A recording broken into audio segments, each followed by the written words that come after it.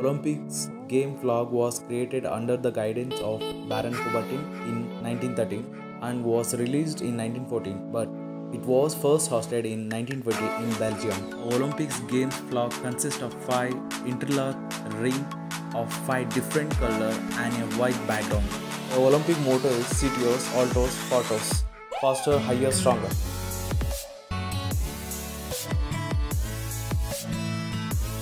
Sarah de Coubertin, French educator. Coubertin was a French educator and historian, founder of the International Olympic Committee and its second president. He is known as the father of the modern Olympic Games. Torch, the tradition of lighting. Olympic torch was introduced during the Berlin Olympic in Germany 1936 to bring about international integration. Games will begin with Olympic torch. Thank you.